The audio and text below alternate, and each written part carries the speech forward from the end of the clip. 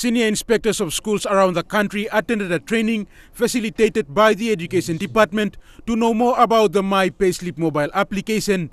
The Education Department Assistant Secretary says it is cost effective and real time as it allows convenience to their fortnight.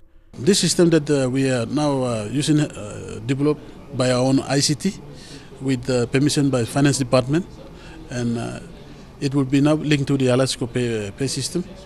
So for our teachers to have the uh, teachers and public servants to have the access to the salaries every fortnight.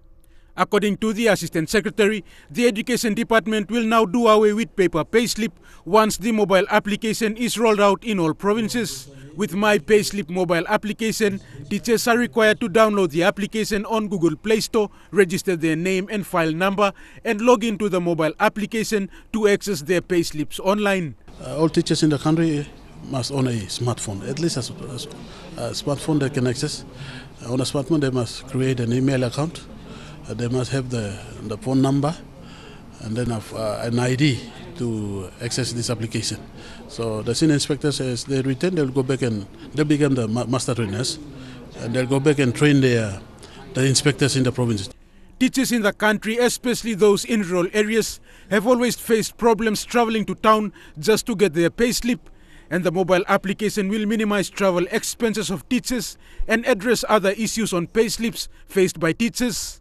With this one now, they will never come to uh, they will never go to Mendi or Hagen or Lorengau or wherever. They will access the payslip on their phone in their village. This is a service that we are developing for the teachers' benefit at their doorsteps.